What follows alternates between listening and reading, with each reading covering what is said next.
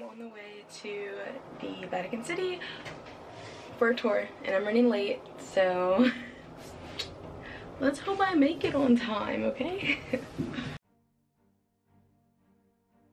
Vatican City is the smallest country in the world and it is ruled by the Pope, who is the Bishop of Rome and head of the Roman Catholic Church. While you're in Vatican City, you should visit the Vatican Museums, the Sistine Chapel, St. Peter's Basilica, and the Vatican Gardens. Since it is a place of prayer, you must follow the dress code and wear respectful clothing. Just make sure your shoulders and knees are covered, or they might not let you in.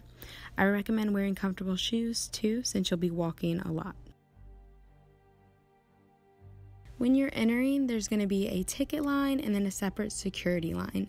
You can limit your waiting time significantly by booking your ticket in advance or even scheduling a tour that skips the line. I did the Roman Guy's detailed itinerary Vatican in a day tour because I wanted to view as much of the Vatican as possible. The tour did include early entry, which I highly recommend because as the tour continued throughout the day, it did get more crowded and we were able to skip a lot of that crowd in the morning.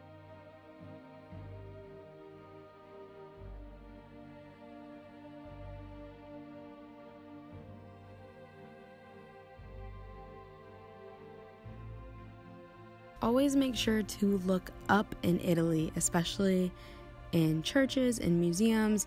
There are often extraordinary masterpieces on the ceilings.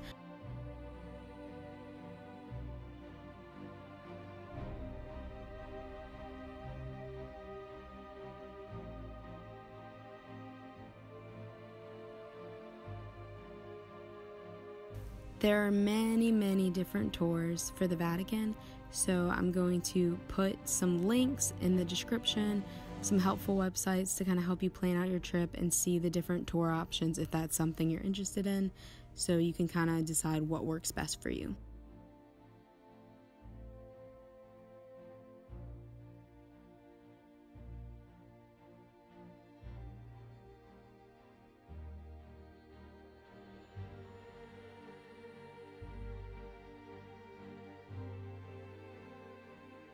Here's an example of how crowded it can get if you don't get an early entry tour or if you just come at the peak times.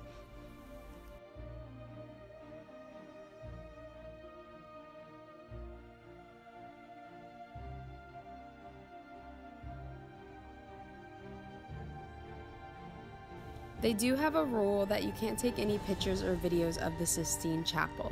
So this video doesn't have any footage of it, but you can find some images online.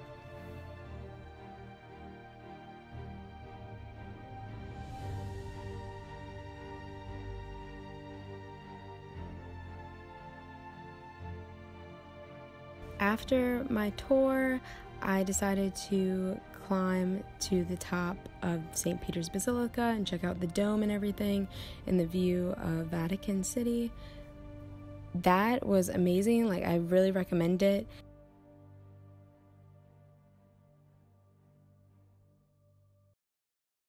The steps are super narrow and the like walls kind of cave in on you, so if you don't do well in tight spaces or if you have trouble like just going up a lot of steps, you might not want to do it because it is kind of like intense at times.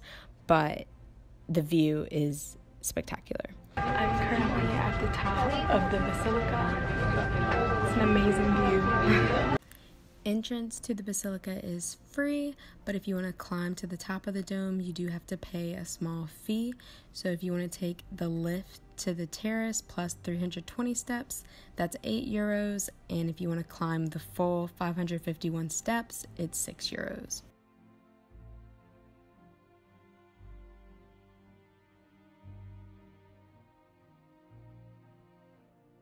That concludes my experience at the Vatican. If you have any questions, feel free to leave a comment, like this video, and subscribe. Thanks.